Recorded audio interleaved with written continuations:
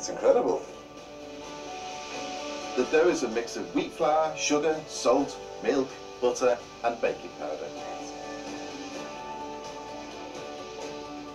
It reacts a little bit like uh, a puff pastry. It puffs up slightly initially, so all those, all those little cuts just open up. You see my sad attempt. So you can see them all open up, and you can see where the fire's just scorched. It's a little bit hot, but interesting pattern. It smells like a donut. it's like the snowflakes that kids cut out of paper. Utterly charming. Who did that one? This is uh, Heda. That's a good one, that one. It's nice.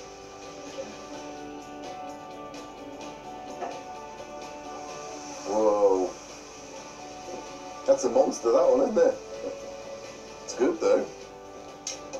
I think when they stop sizzling, it's telling you when it's ready. It's like you were born and raised in the north. I am. I'm, I'm from Liverpool.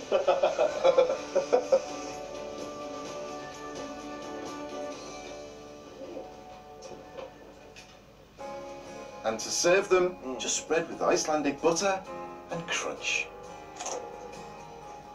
It's not like a pancake. It's like a bread, but with the texture of a cracker. That's what it's like. It's like a cracker. It's a cracker, butter on it. They're delicious. They are. Really nice, yeah. At the end of my journey, this is a reminder of Iceland's tough and frugal history, a time before the richness of international baking arrived. Honestly, they're really good. And it's great to see Dango's kids having such quiet fun making them. You're a busy man. Thank you. Thank you very much indeed. Thank you. Bye-bye. Bye-bye.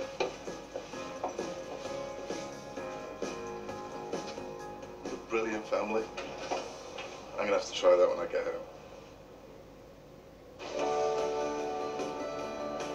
I've had a hectic but memorable time in Iceland.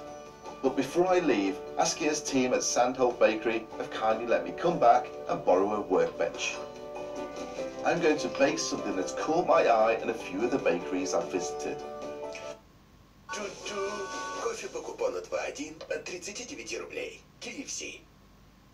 Now what I'm going to make is vina teta. Now let me show you this. These are a few of the examples that you get in Reykjavik. So this one is made with buttercream, this one is made with jam, and this one is made with prune. What it is is a layered cake or a layered biscuit, and this has almost become their national dish. Now the one I'm going to use to make is basically oats. So I'm going to make it an oatmeal biscuit, and I'm going to sandwich in between chocolate buttercream. It's very simple to make. So to start with, I'm going to cream the butter and the sugar together. It shouldn't take very long at all. It just goes slightly palely yellow. When it's fluffy, pour in the beaten eggs and some vanilla. And then I'm going to add the flour, the baking powder, a little bit at a time to this mixture. And then we've got oatmeal. Again, the reason why I'm using this, it's Icelandic. Barley and oats were grown in this country, so I'm trying to keep it as close to Iceland as possible. Blend the oats through the rest of the ingredients. Happy with that? I'm just going to put a little bit of flour on here. and bring them together on the bench for a moment. Now I need to get the dough ready for rolling out those layers. This is going to go in the fridge to chill down for a little bit. It just helps you roll it out.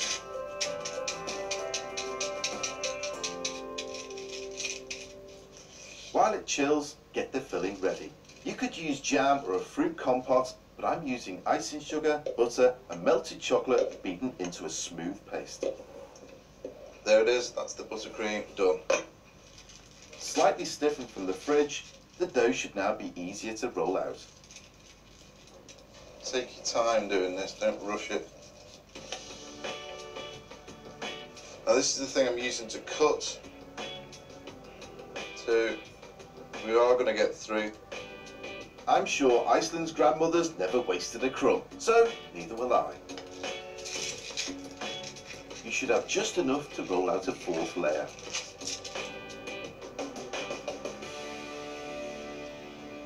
Just dock it all the way down, just to prevent them from rising up too much. Then pop your biscuit layers in the oven for 15 to 20 minutes and they should be golden brown. Okay, there are our baked layers. Build it up using a third of the filling each time. Don't worry about going right to the end because what's going to happen, we're going to trim this down anyway. So you see the biscuit, you see the buttercream. Another layer on top and repeat.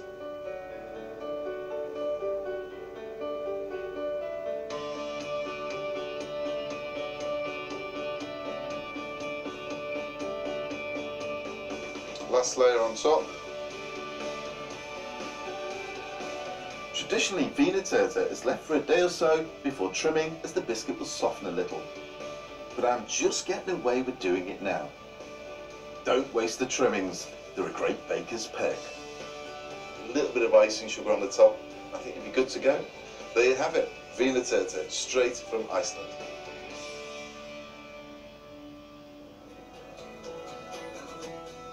Reykjavik has been one city-based destination that I've found full of surprises.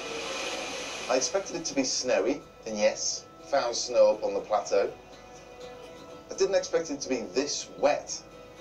I thought the Icelandic people wouldn't be as friendly. I was wrong. I think they are very, very friendly people. The way that humans have adapted to this island, and the fact that it's so barren, so remote, is incredible. Icelandic people have had to travel back to mainland Europe to learn new skills and actually bring them back to Iceland and make it their own. That's what they've been doing on the bread front and the cake front. I think Iceland is a fascinating place. Yes, I've fallen in love with Reykjavik, the city.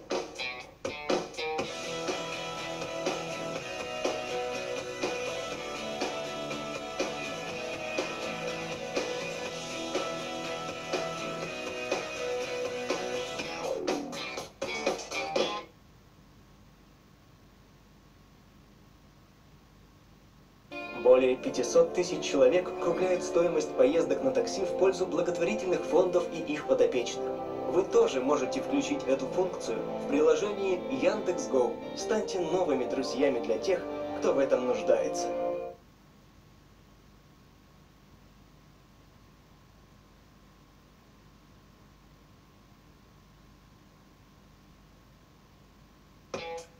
I'm visiting the baking capitals of the world, uncovering the tastes, traditions, and the recipes Look at that. of the world's best baking cities. I love coming into bakeries. From the historic streets of Palermo to the multicultural city of San Francisco. Mm, that's lovely. Welcome to City Bakes.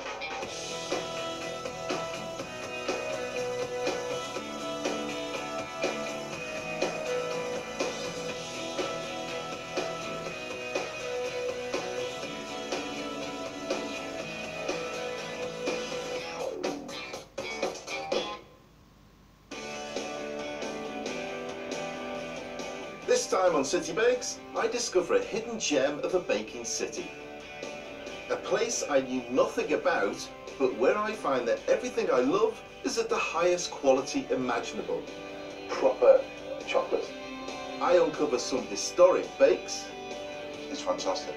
and I go behind the scenes of the world famous diamond industry. Oh, I can see it, yeah. I try traditional dishes with a Michelin starred twist, These look like pan au chocolat. No. Whoa, whoa, whoa, whoa, whoa, whoa. and I show you how to bake my chocolate layer cake. You have the waffle mixture and you have the Belgian chocolate on the top. Welcome to City Bakes in Antwerp.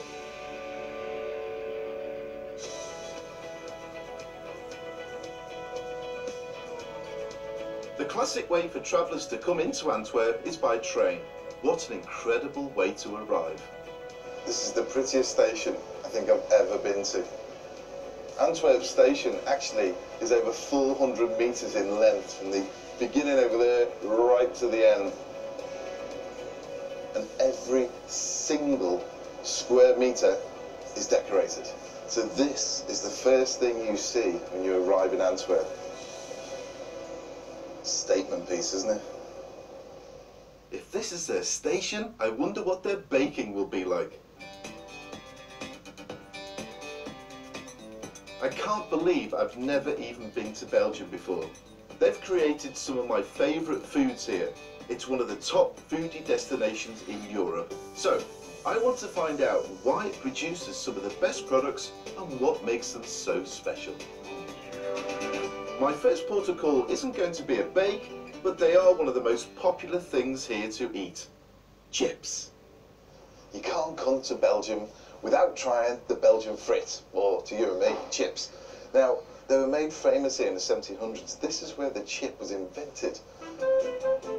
We know them as the French fry, but that is wrong. It's the Belgian fry. For a country of just 10 million people, there are more than 5,000 frit stores like this one. Uh, could I have some frits, please? Small portion? We'll Make it a big one, please. Thank you. Chips. American soldiers came here in World War One, and because the Belgian people were speaking French, they call it the French fry. So that was the problem. Can you imagine a whole nation being upset because actually it's the Belgian fry, not the French fry. They don't normally put vinegar on their chips. You serve it with a sauce. It's all about the sauces here. It's dead posh. I've asked for curry sauce, simple mayo, and a retro cocktail. The cocktail one I don't like. I don't know, it's too bitter. Curry one's quite nice. But there's more to Antwerp than its fantastic fruits. The city is dwarfed by its port. It's the second biggest in Europe and dates back to the Middle Ages. Today it's the size of nearly 20,000 football pitches. Antwerp was a very industrial city. The Spanish who conquered Belgium were on little trots down to South America, bringing back the cacao beans, bringing back coffee, and ultimately sugar. Where you have trade, you have money. This became a very, very wealthy city. You can see this in the stunning architecture, but I wonder if you can see the wealth reflected in their bakes. I've arranged to meet food writer Luke Horney. He reviews and researches Antwerp gastronomy. Luke, Oh, nice to meet you, buddy. One of his favourite places is Goossens, the oldest bakery in Antwerp. history of a city for me lies in two things: pubs and bakeries. Man after my own heart. Yeah, since it's too early to go to a pub, Yeah. Bakery's a second choice. Baking's always my first choice. I tell you what, it's crowded, isn't it? It's always crowded. This place is always crowded. That's a good sign, no? It is a good sign. It means that the stuff in here is pretty good. This delightful place has been in the same family since 1884. Along with their more modern European bakes, there are a few unusual ones I've never seen before. One of the things here that they do is an alcazar, which is in fact an ancient recipe based on frangipan and, and pineapple. In those days, it's quite a, quite a thing to get pineapples over here. So this is due to the port and all the all the trade that was going on. You've got pastry. Yeah, It could be a jam, and then it looks like frangipan. It's African. jam, and then you have pineapples in there as well. This is this is a pastry which was made for centuries.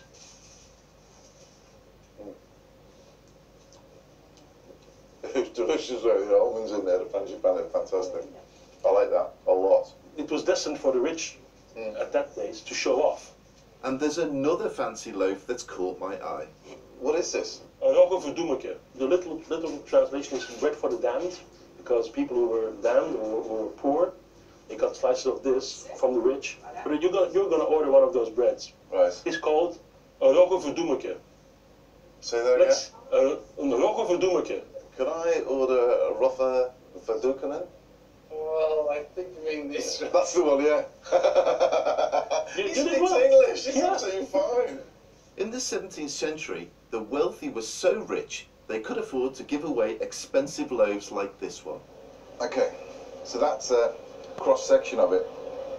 Still the raisins in it. That tight structure is a real indication that it's a rye bread.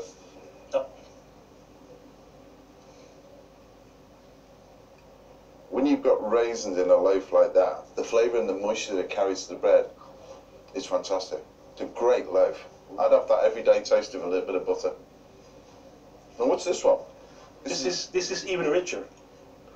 It um, contains more yeast. It's lighter, Oh yeah. but it's full of candied fruit. Candy, again, that's Candied showing fruit. off money. And this is called uh, Sucre. Yeah. sucre. Tender. Suckable. It's like a panettone meets a brioche. Yeah. That's what it's like. It's got really soft dough. The flavour of the citrus comes through. It's rich, it's sugary, but it's also got a little bit of a bite to it as well, that little bit of bitterness that comes from the, the fruit, the citrus in there. There's nothing cheap in that. No.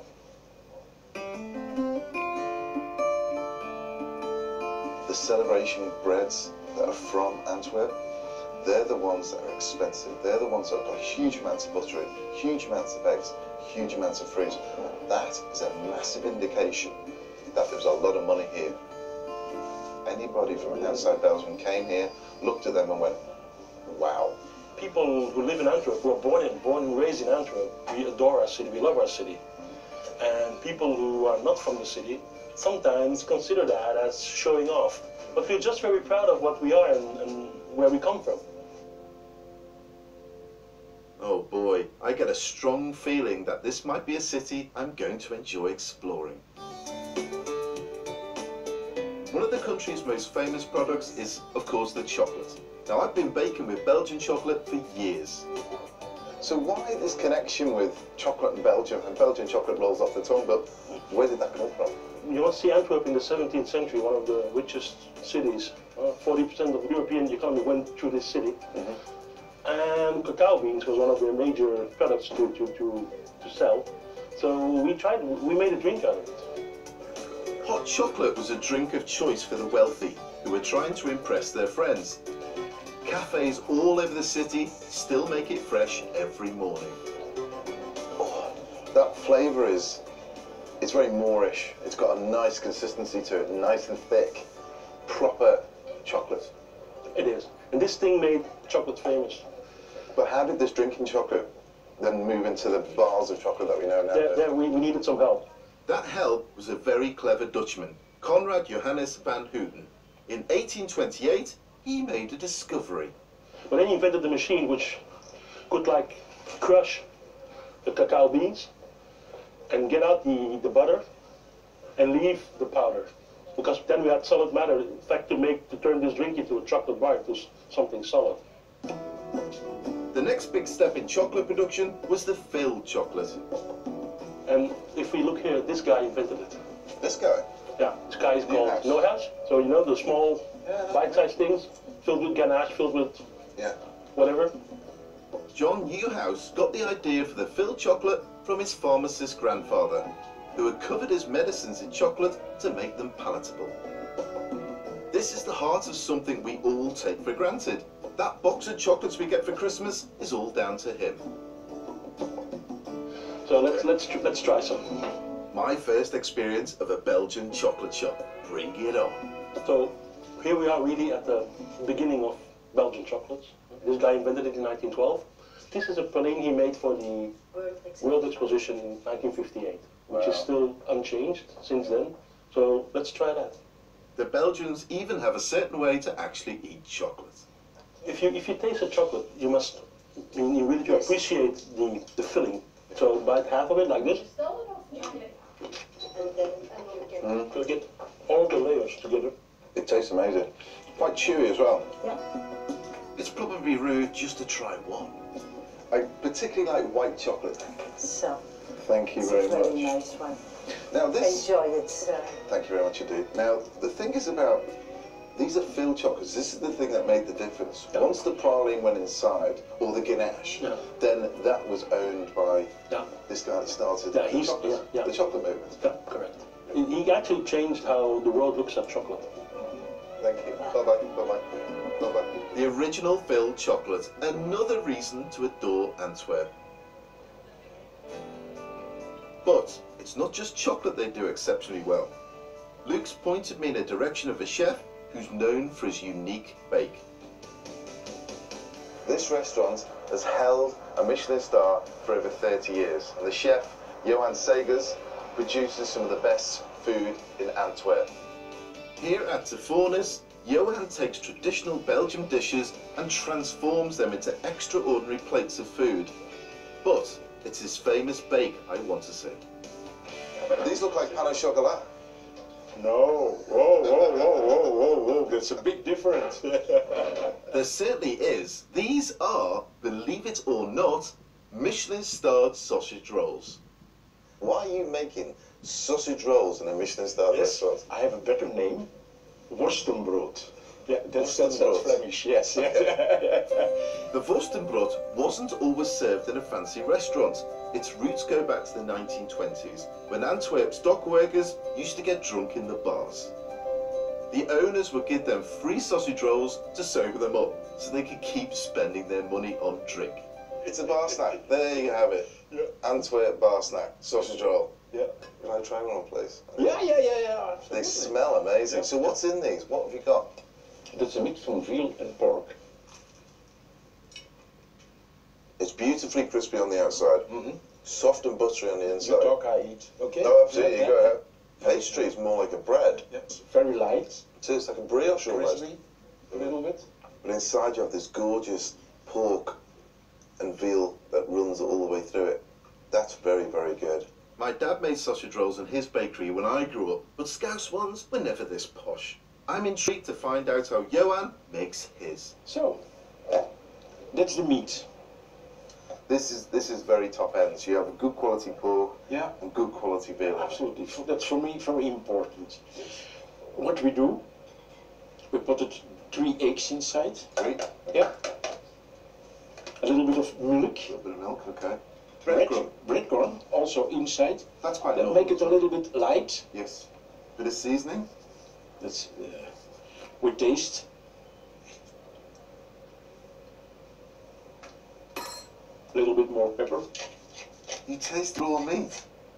Absolutely. Yeah. Each to their own, it's not even mixed. The filling is combined, then it's wrapped in a sweet, butter-enriched dough and left to prove. I've never seen um, a sausage roll made with a croissant dough before, so that, that is different to me. Yeah, that's a, a specialty. huh? Yeah, absolutely, yeah.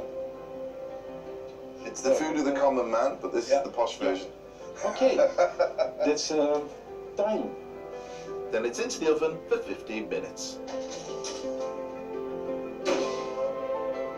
Sausage roll is such a basic thing, but what Johan's done is given it the Michelin starred effect, created something that is simply divine.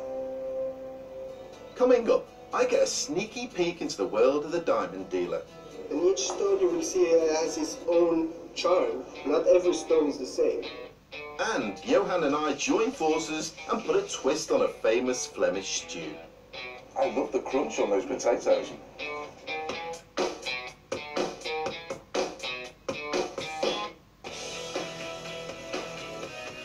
I'm exploring Antwerp, and I'm heading away from the city centre to the old Jewish district.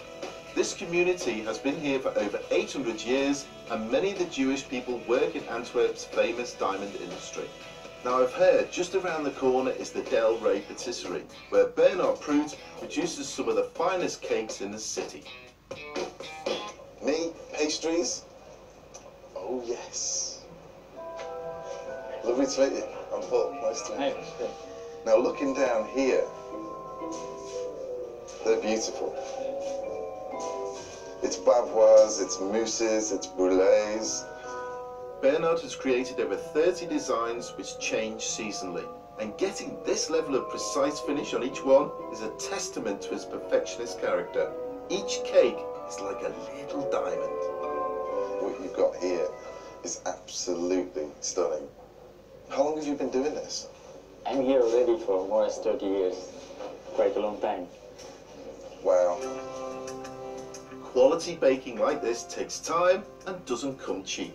But Bernard has customers who can afford the best. We have the locals, we have the Jewish community, we have also the international public from the diamonds businesses just in our back. Every cake is made in the bakery beneath the shop. This is where it all happens then. Yes. And it looks like he's got all manner of gadgets to make his fancy cakes, including a spray gun. Yes! So you've got on a compressor as well. Yes. It's like in a garage. you have as well. Yeah, Excellent. your tires. Yeah, that's right, yeah. It's like being in Willy Wonka's factory and then some. I mean, a compressor with a spray gun. So we're basically going to spray a car now in a booth, but we're going to spray a cake instead. Bernard's decorating one of his most popular cakes, the vanilla and passion fruit bavarois. He's spraying raspberry chocolate on a butterfly stencil. His attention to detail is incredible. Do you see? Yeah. You want to do it? Yeah, yeah, of course. It's easy, yeah? Fancy doing this at home, I suggest you take your cake to the local garage. I need one of these in my life.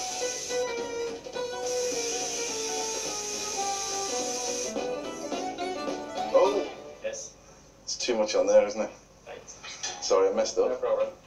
I went to art school too, clearly not up to scratch, but I better leave it to the expert. For extra wow factor, Bernard creates a 3D effect using tempered chocolate. When the chocolate is temperated, we put it on the transfer. We, it's like you have this one, but then Yeah. the other side, This isn't just a cake, it's a work of art. and then we put, uh, we put like that. That's why we have the 3D. The idea of spray painting and giving it a 3D effect with the tempered chocolate on the outside, the raspberry holding it up, it's so delicate and beautiful that when you look at it as a whole cake, it is absolutely divine. Thanks, Chef. Your kitchen is amazing, by the way. Thank you very much indeed. Thank you. There are more treasures just around the corner because Antwerp's diamond district is right on his doorstep. So I'm hooking up with Lisbeth Morellis, an official from the diamond industry here in Antwerp. You're in a diamond square mile. But don't be mistaken, it's not all glitter and glamour here as you can see because it's business to business. I did expect it to be a little bit more. Fancy, Split- you can say it. This whole area is completely dedicated to diamonds. 84% of every rough diamond passes through Antwerp. Wow. We have the labs to certify the diamonds. We will sort the diamonds because every type of company needs to know what type of diamond they need. Diamonds have been trading here for 500 years, and the city turns over an incredible, wait for it, $57 billion a year. Have to go to security. Lisbeth has agreed to take me behind the scenes to show me where the really big deals take place. This is the bourse, where traditionally traders buy and sell. It's not quite what I was expecting a trading floor to look like. Everything is based on trust. If we have a deal, we say Mazalu Bracha. May Mazalu this, bracha. Mazalu Bracha. May this deal bring you good luck. When we've shaken, the deal stands. There'll be no handshakes from me today, but I'm keen to see some rough diamonds. Trader David has agreed to show me a selection. How can I help you? For me, I'm, I'm fascinated with the whole world of diamonds. Uh, uh, these are not cut diamonds, these are rough diamonds, right? So, you look at that, they don't look very special. Here, I have um, low quality diamonds, Yeah. but you can see that still there's life in it. Oh, there's a mark it? inside yeah, there, of isn't it? course. You want to check? Please do. You will see it. Oh, I can see it, yeah. And each stone you will see it has its own charm. Can you tell a vivid colour at, at the rough diamond stage? Of course, yeah. That's all the. This is all the the business. This is the game that we play. So if I get a stone like this one, mm-hmm. and let's say you see it's off color, and another guy sees and he checks it and he sees, listen, I think I can make a fancy color out of it. Then that's the beauty of the rough diamond. Fancy coloured diamonds have a natural colour, caused by the presence of other elements like nitrogen or boron. And the way that the diamond is cut and polished affects the intensity of the colour and therefore the price. So what sort of value do you think you're looking at there in total? The whole value together. Yeah. I don't know, you have a calculator? No? But let's say this is 337 carats. Mm-hmm. So the price for this is around the $350 per carat. That's nearly $118,000 right there. Incredible. But But there's no deal for me today. With my hands firmly in my pockets, it's time to get back to what I know best food. Whilst I'm in a city, I like to create a bake. And my pal Johan has invited me back to taste the fantastic seasonal stew he has on his menu this time of year. How you doing, Johan? Nice to see you, my friend. You're at home. As a northerner, I'm partial to a good stew, and I can't wait to collaborate with this Michelin-starred chef and add my twist to his dish. Okay, tell me about this. It's a Flemish stew- isn't it, really? Yes, that's carbonade flamande. Okay. Um, that's a good meat. Onions, beer. Very simple. Well, I'd love to see the way you do it. Okay. First thing I do, that's maybe for you. I need one onion. Okay. Okay. That's uh, that's okay for you. Yeah, yeah, that's fine. That's fine. So, chief, that's the meat, the wagyu beef. Unbelievable. Antwerp pulls it out again. It's Wagyu beef. Wagyu is one of the most expensive beefs you can buy in the world. These are specifically reared and massaged so you get a fat lining all the way through, and it, the fat is where the flavour is in the meat. Other cuts like shin and brisket will work just fine. Johan sautés onions in oil and butter, then seasons the meat before browning in a pan. We need now a nice baked color. Yeah, you're looking for that rich caramel. side, yeah, yeah. So you got thyme in there, you got a bay leaf in there. In goes that amazing Wagyu. Just plain flour. Yeah. This is going to thicken the sauce. Yeah, yeah, but a little bit. Okay. And here's the secret touch Belgian beer. Rich, dark, and full of caramel flavours. At home, I would use stock cubes, but of course, Johan makes his own shoe. In all the big hotels, five star, when I was at the Dorchester, my job was skimming the top of the stock. And it's all done with the bones. Yeah. So you have all the vegetables in it, yeah, you have all the beef bones in there. Big stock pots like this. Absolutely. And it reduces, reduces, reduces, and it sets like a jelly. Johan's also adding mustard, but in a way I've never seen before. That's a lot of mustard. The bread will dissolve and help thicken the stew.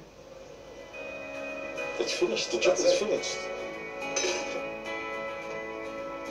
The rich Flemish stew has been cooked for an hour. This recipe couldn't be any simpler.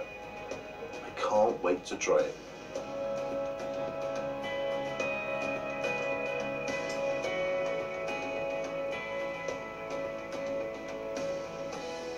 It's absolutely drop dead gorgeous that. This is, That's, this is too much. It's, no it's not. no seriously it's not.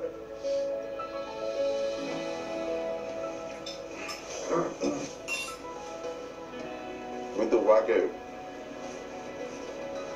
it breaks down, it melts and the beer with that beautiful beef stew. Together, that is one of the best stews I've ever had in my life. I love you, chef. wow, it's nice. Wow. But I've come round here to bake. The problem I've got now is I want to try and put my little touch to it to make it a little bit different. That's a potato, yeah, I know. But what, uh, Can you make a couple of chips from that for me, please? chips? Chips. Yep, chips. I've decided to go simple. And you know what? Sometimes that's just enough. It is, yes. Oh, no, no, no, no, no, no, no, no. That's not a good deal. That's not a good deal. Ira, can you... Uh... Now I'm basing this on like a Lancashire hot pot. Now a Lancashire hot pot traditionally has potatoes on top of it.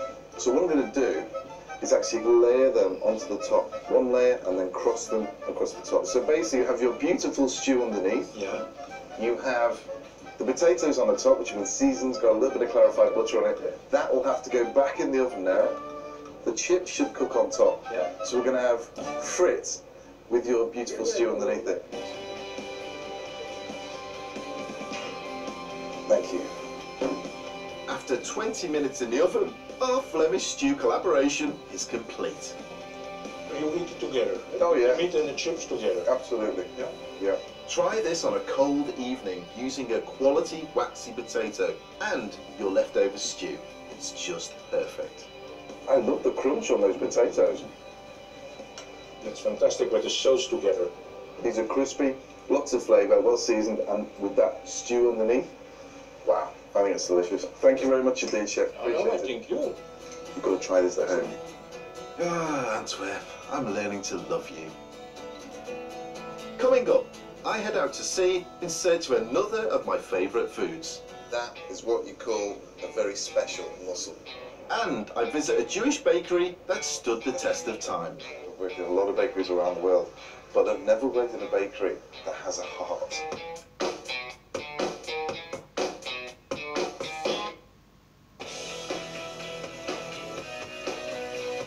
I'm in Antwerp, a small Belgium city that I've discovered is big on surprises. From the best sausage roll I've ever eaten That's very, very good. to incredible frites. Last night I dined out on a famous Belgian delicacy, mussels.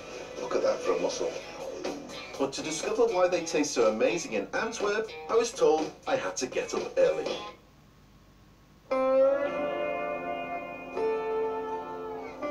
It's 6 a.m. in the morning, and no, I'm not on my way to a bakery.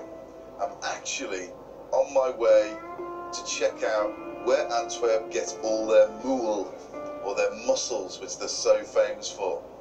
Happy days. Mussels are one of my favourite foods, and I'm not alone. Belgians consume 60,000 tonnes of them a year. The mussels I ate last night were harvested just 30 minutes outside the city, on the border of Belgium and the Netherlands. Good morning, Paul. Good morning. Fisherman Martin has agreed to take me out on his ship to collect some. I don't often get out to sea. What a great way to start the day. Same sea, same tidal thing. Yeah. We're heading out to an arm of the North Sea, where most of Belgian mussels come from. And what is it about this particular waters that produce the best mussels in the Well, world? it's a combination. You've got like very nutritious water. Also, movement of the tide lets the mussels work. And they have to hold on against the elements, against predators, against everything. And that just makes them uh, sturdy and meatier. They plump up. Yeah, no, they're, they're going to be strong and firm meat. The mussels are grown and harvested further out to sea. Then they're brought closer to shore and stored here. That's actually where we're going now To pick them up. to pick them up.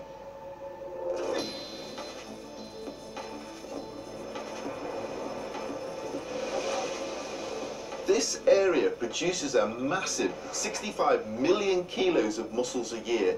That's incredible. Huge chainmail nets scoop the living mussels up from the shallow seabed below us. Look over here. Look at that. Some mussels. Wow. Right from... I can almost smell the frit. Yeah. They're lovely there. You can't get them any fresher than this. No, you can't. They are actually a decent size. They're a nice sized mussel. Yeah. Once the mussels are harvested, they go back to the shore to be cleaned, then delivered straight to the restaurant in Antwerp. But I can't wait that long.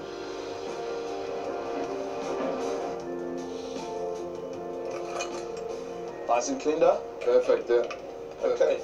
Thankfully, the wheelhouse has somewhere to prepare breakfast. Cheers. Oh, it's a bit warmer in here, isn't it? Mark? So, heat up the stove. So within five minutes of them coming out of the sea, they're in the pot, going to be cooked, we're going to eat them. Nice. So, let's look inside. Look at that.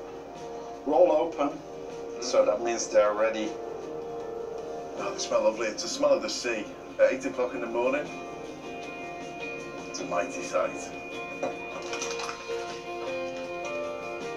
Right, should we have a go? Mm. It tastes good. It tastes really good, Nice yeah. saltiness to it. Yeah. And a firm taste. It's plump, it's delicious, and it's a little a little taste to sea. They're really, really good. This is the real thing. That is what you call a very special mussel.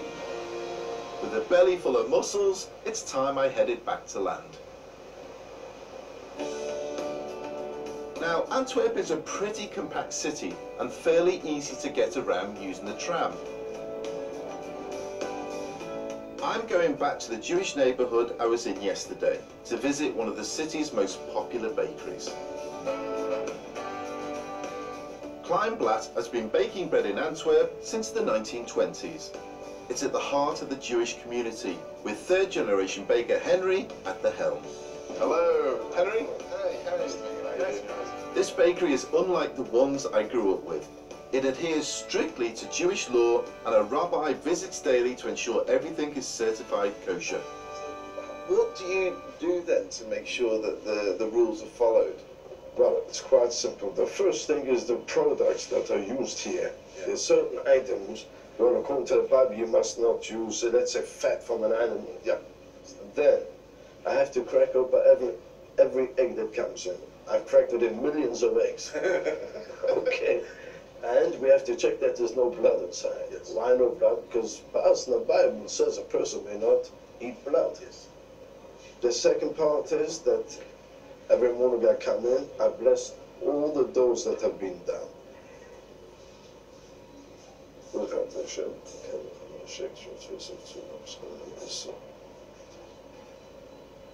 Okay. That's that. With the dough now blessed, we can start making the special challah bread. Getting limbered up.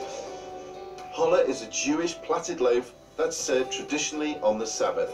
It's the centerpiece of the religious Shabbat dinner. As today is Friday, head baker Adolf has to plat 1500 of these. I reckon I can help. You want to look first how he does it? Look at the speed. I need to have a go at this. Yeah, right. this is hard. Push enough, then you'll have them longer. Yeah. How can you learn this in two seconds? that is really difficult to do. What the biggest problem is when you're doing this, which I hugely respect him for, is getting them all the same. I can normally do an eight strand plait dead easy too. I was a bit of a hindrance. But there's some bread just come out the oven. Tasting, I can definitely do. Just freshly baked. Yeah. Mm. It's good. It's good bread. Yeah. It's very good bread. Henry's family have been serving the community for more than 80 years. The only time the bakery has had to shut down is during World War II. The Germans came and they took the ovens because they weren't made from messing, special metal they used to make the tanks. So they took everything out. That's incredible. Then after the war, when they reopened the bakery, many people were without jobs. So my grandmother, she gave them a job. And I hear from people that they had a grandfather working for us and a grandmother working for us. It was quite interesting to see the social impact it had uh, during those days. But there's one thing that we see, that is that people have and the nostalgia of the bakery. Yeah. I can appreciate the love that they've put into each of their loaves, from the rabbi to the bakers. It's actually quite touching. So I've worked in a lot of bakeries around the world, but I've never worked in a bakery that has a heart. This bakery has a big heart. Coming up, I'm in biscuit heaven. And this one? Oh, yeah, more. And I show you how to bake my indulgent chocolate layer cake. You have the waffle mixture and you have the Belgian chocolate on the top.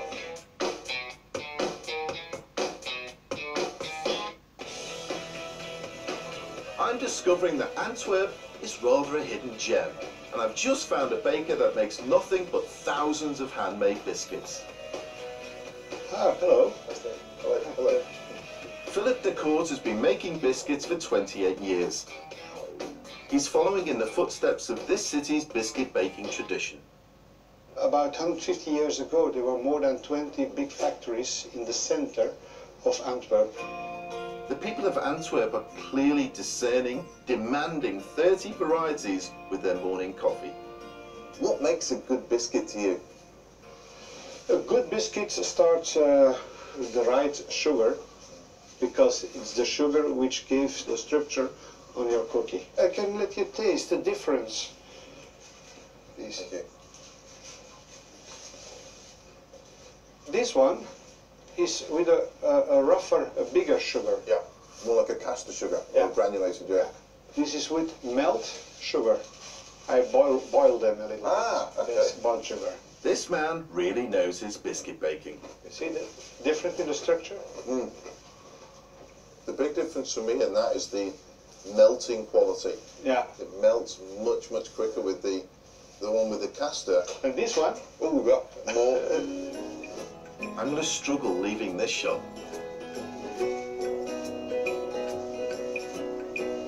And this one? For midwinter festivals, Philip also makes the biggest biscuit I've ever seen. I'll break off a little bit of the fluff. Where's the tea? That's nice to put in your coffee. That is a great dunker. The passion that he puts into his biscuits really come through when you actually come to taste it. It's all about the freshness, and believe me, it makes a huge difference. To be honest, every single one of those biscuits tasted unbelievable. You may have spotted one Belgian bake missing from my visit so far. Well, don't worry. Before I leave Antwerp, I'm stopping off for Belgian waffles. Tamara Tomic has invited me to her family's shop, and in the city of waffle shops everywhere, she is sure of her position. I am the best. You want to know? Yes, please. I'll show you. Bizarrely, they don't call them Belgian waffles here. That was the name made up to sell them to the Americans in the 1960s. Here, they're known as the Brussels waffle. I thought I'd come here to taste them, but Tamara has other ideas. So every morning we uh, make the butter. Full fat milk. Yeah. And then you can add 10 eggs, please. 10 eggs, Yeah. shells and all. No. Thank you. I'm adding plain flour, vanilla, salt, and yeast to make the batter. You're doing it very well. How much do you pay? You're just learning still. But you can eat waffles. Oh, yeah, yeah, okay. I get paid in Like a deal. waffles. Yeah. I get paid in waffles and beer. Wait until you try them. You're gonna be happy that you're gonna be paid in waffles. Let's go make waffles then. Okay.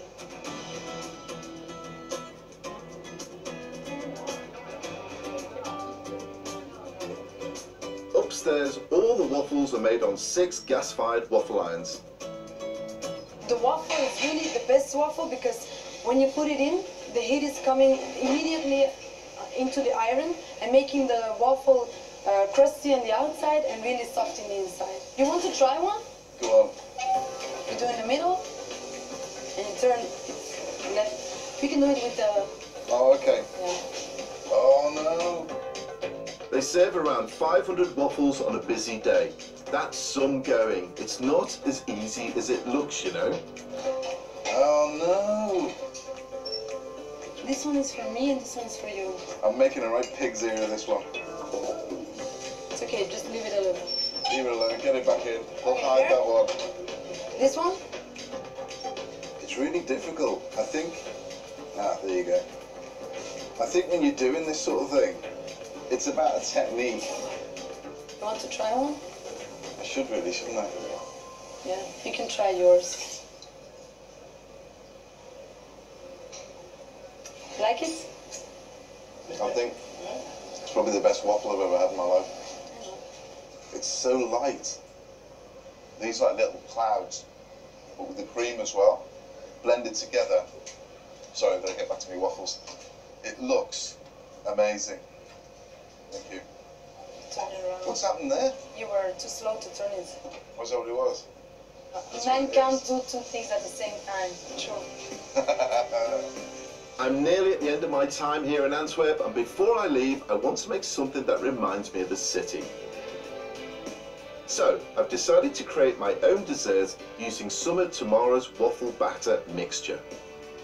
I'm going to show you how to make my indulgent chocolate layer cake. So to start with, I need the waffle mixture. Can I take some of this Yes, waffle mixture? Thank you. This is very similar to a pancake batter, but there's yeast in here for extra rise. So I'm going to add a little bit of sugar to this, and a little bit of sugar to this.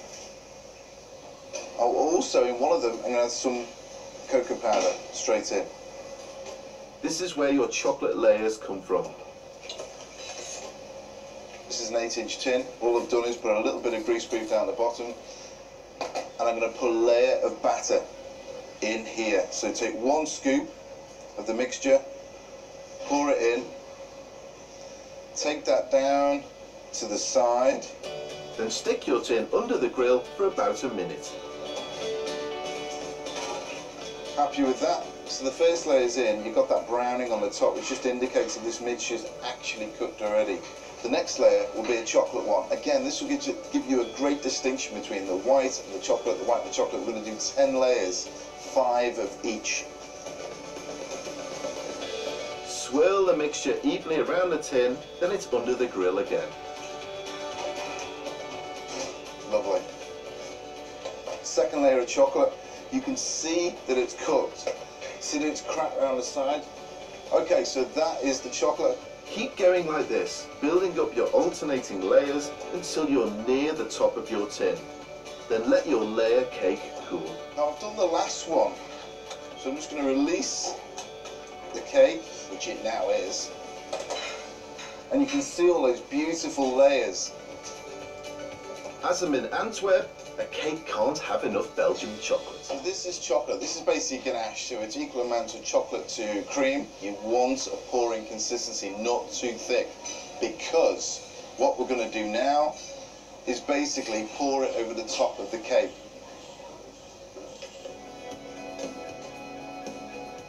Carefully cover all the cake with chocolate, making sure it's nice and smooth.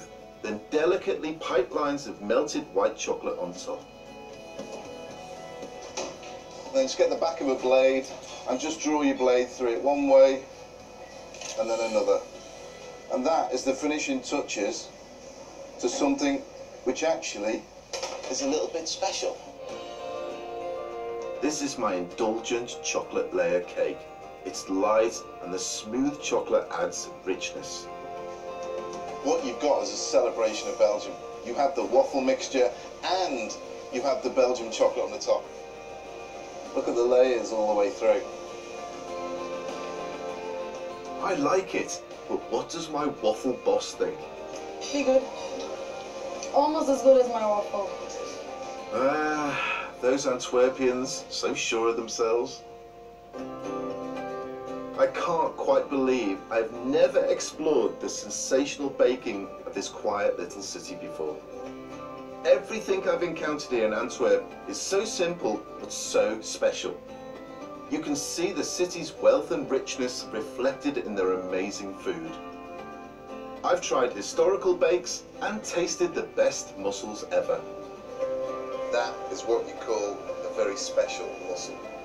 I've met locals that are keeping food traditions alive and seen simple dishes transformed into something quite remarkable. That is one of the best stews I've ever had in my life. we brush over Antwerp thinking, oh, it's just a little city in Belgium. It's not. It's a foodie capital. It's the foodie capital, I would say, of Northern Europe.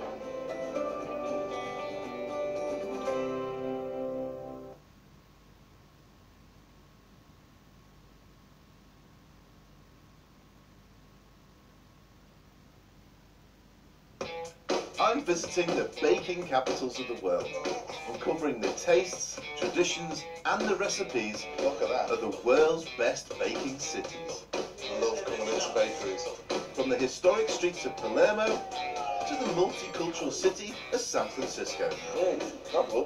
Welcome to City Bakes.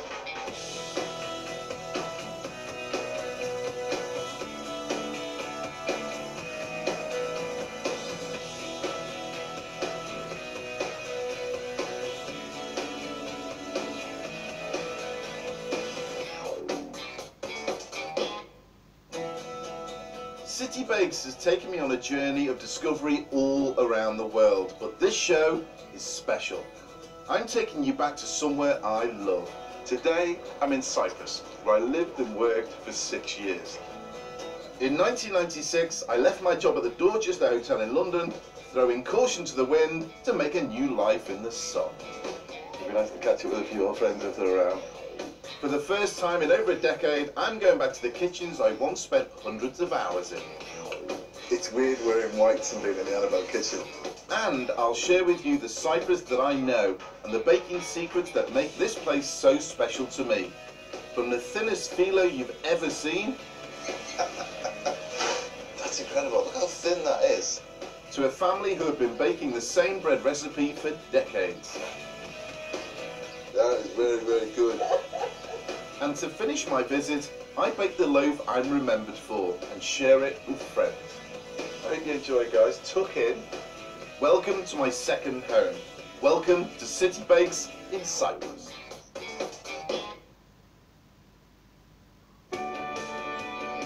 Cyprus holds many memories for me.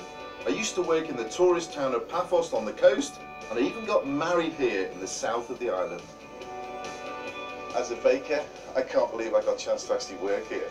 When I started off in the Wirral learning how to bake when I was 17, I didn't think it'd take me to a place like this.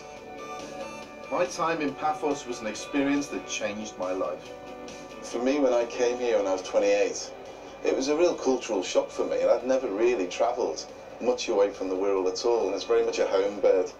And actually, I took it into my heart. Paphos was, was running through my veins. I loved it.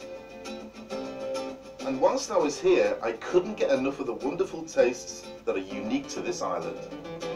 The thing is about Cyprus and its baking, it's all about these few key flavours that are in pretty much everything. Sesame seed is on and in a lot of things, whether it's in the form of tahini paste or sesame seed. This thing looks a bit like a croissant, but actually when you break it open, see the olives inside? Olives are key. Now, dactyla. It's basically like a phyllo pastry, drowned in a syrup.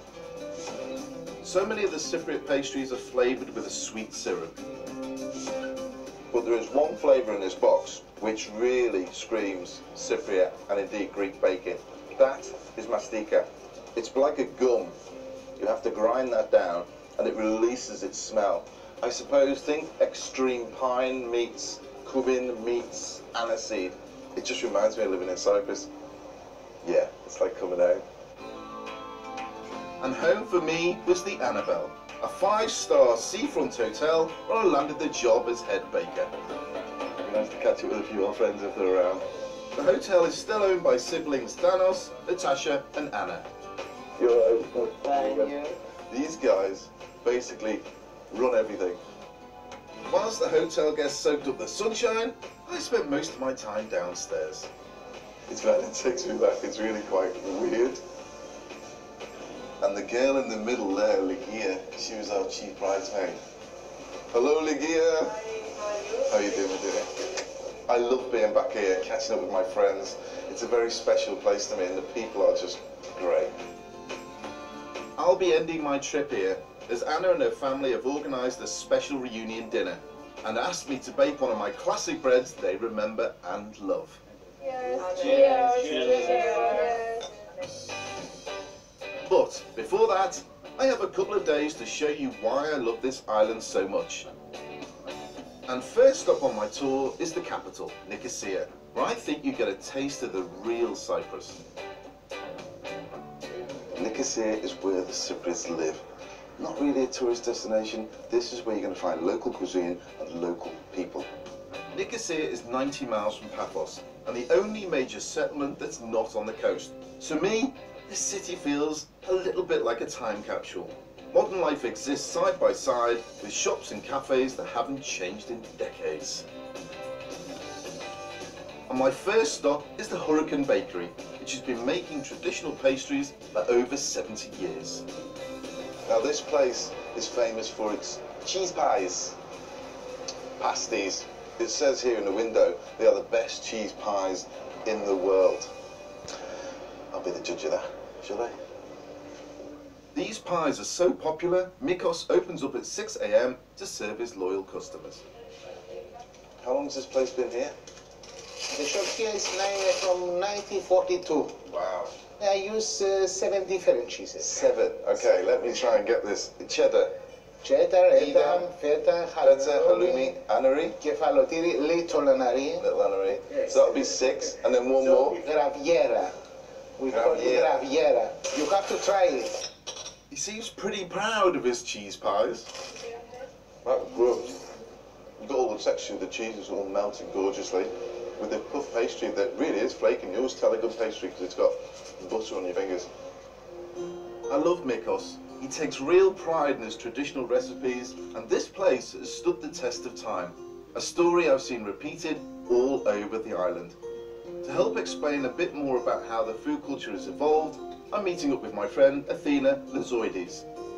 She's a fellow foodie who was born in Nicosia and now has her own cooking show on Cypriot TV. She also writes about the island's complicated culinary history. Cyprus is an island that's always been captured by some foreign power. We've been ruled by the uh, Phoenicians, the Persians, Egyptians.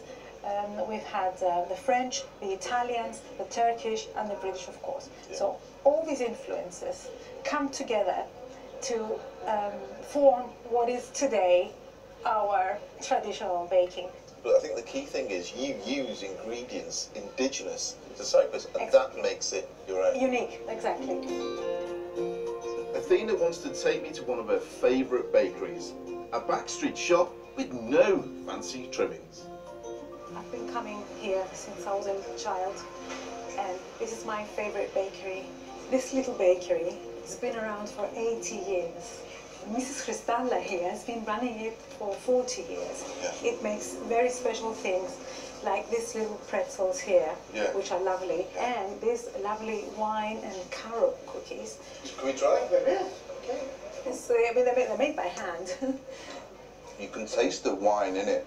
It's not alcoholic, that's been burnt off, so what you're left with is the flavour. Imagine the red wine going in there would have added to the colour, as would the carob syrup as well, which is, again, all over Cyprus. Normally, when you come into a bakery, you expect to see lots and lots of cabinets with lots and lots of baked goods. Actually, what, two, three products That's there, right, that's it? yes, that's it. That's what they make, and they bake fresh every day. I love the fact that this little bakery, selling just three traditional bakes, is still going strong. To dig around and find a little pearl of a bakery like that, it's pure magic. It's nearly 20 years since I've been to Nicosia, and though so much is familiar, things have moved on. Like many European cities, a new generation is bringing a buzz, and I can see a wonderful blend of old and new. But to really understand the city's evolution, you need to delve a bit deeper into the struggles of the past century. There is one reason that makes Nicosia a very unique place. Since the fall of the Berlin Wall, Nicosia became the only divided capital in the world. Before the 1970s, Cyprus was a mix of Turkish and Greek. But in 1974, the Turkish army invaded the north of the island, which they still occupy today. Since the war, this is where the line was drawn, and it cut the city in half. So we have Nicosia here, and this line here cuts right through the middle of the city. Nearly half the population was displaced, and both sides lost homes and businesses as Greeks were forced south and the Turks moved north. Last time I was here, which is about 20 odd years ago, there was a wall, sandbags, and you could look over it, with barbed wire, and you look over to the north. But now it's gone. You can walk through, not a problem. Since 2003, checkpoints have been opened, but many Cypriots still refuse to cross. But talks are slowly moving things on, and hopefully we'll see real progress in healing the capital very soon. Next, I'm visiting a family who, despite all these difficult politics, have grown their traditional simple bakery into something rather impressive. Galopesas has basically been run by a family for many, many years. Just like Nicosia, it's a true mix of the old and new. He's just down here on the right. Come in here, you're gonna love this. Look how open it is, how spacious it is.